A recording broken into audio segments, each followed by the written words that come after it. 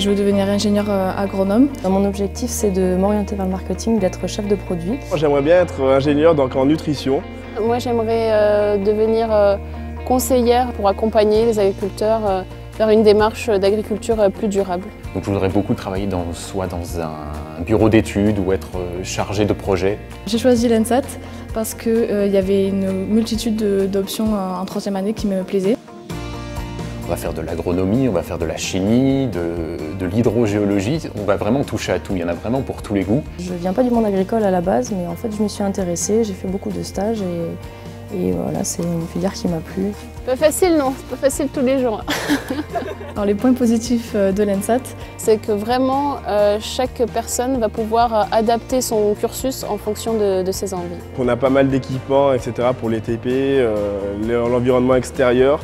Et puis euh, bon, les profs, euh, c'est des profs qualifiés puisque l'école est quand même la deuxième meilleure école de France. On a des profs qui viennent de tous horizons. On a des ingénieurs, on a des chercheurs. Euh, La proximité avec les laboratoires de recherche est aussi un, un atout puisque les, les étudiants euh, peuvent venir dans les laboratoires, euh, faire des stages. Donc on va avoir des financements de l'État, de la région Midi-Pyrénées. On a également des financements euh, de- d'entreprises partenaires euh, avec aussi beaucoup l'apprentissage, donc la taxe d'apprentissage. L'objectif c'est vraiment qu'ils trouvent un emploi et donc se frotter euh, dans toutes les occasions possibles, voilà, comme le CISCA a des, euh, interactions avec les professionnels, c'est vraiment bien. Ça peut permettre de rencontrer des gens pour, euh, plus tard, de se faire un réseau. ça apporte euh, des opportunités euh, d'embauche et de stage éventuellement.